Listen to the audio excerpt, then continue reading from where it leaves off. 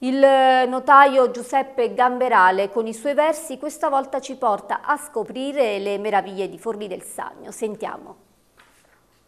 Questa volta il notaio Camperali ci porta nella vicina Forlì di Stagno. Perché proprio a Forlì, notaio? Perché in questo mese ricorre la festa del patrono San Biagio, quale, al quale sono tanto devoto e perciò faccio questo omaggio al paese. Ci sono tre grandi originalità che io ricordo. Prima il nome, viene dalla radice forum latino, perché anticamente Forlì non era un paese, era un mercato e dopo attorno a questo mercato mercato si sono fatte, costruite delle case e è diventato un paese. Poi la terza originalità che ha, due, che ha due, due, due, trattori, mentre tutti i paesi ne hanno, quasi tutti i paesi ne hanno uno, questo ottiene due trattori e quindi nel Medioevo aveva una grande, una grande strategia, una grande importanza.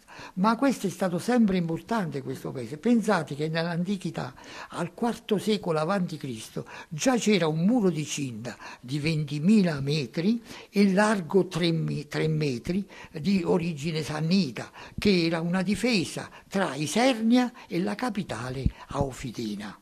Per quanto riguarda la storia sannita, come abbiamo detto, comincia dal, dal Sannio. Si è trovata una tomba nel, nel suolo del, del, del Folle del Sannio, si è trovata una tomba di un guerriero sannita con un grande cinturone proprio importante.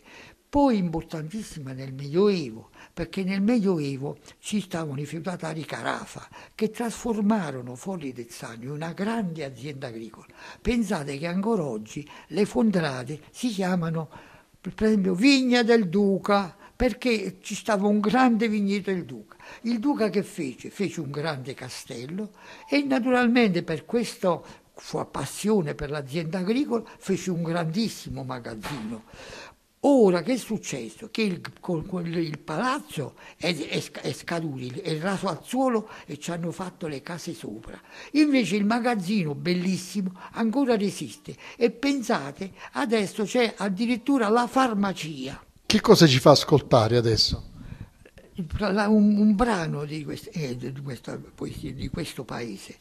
Mentre passeggio sul vicino monte, Forli del Sannio appare all'orizzonte. Quando passo per il tuo bell'arco, sembra che porton di reggia varco. Mulina d'acqua all'epoca sannita, alla vandrella ebbe assai lunga vita. La tua proloco, porta antica data, da me notaio fu con cura rogata. È calabrese, cognon più diffuso, Iarusse pure assai appare in uso ruderi noto del vecchio convento, nella campagna aperta ad ogni vento. Caro paese, sarò con te cortese, ti chiamerò di Benigno di Tullio il paese.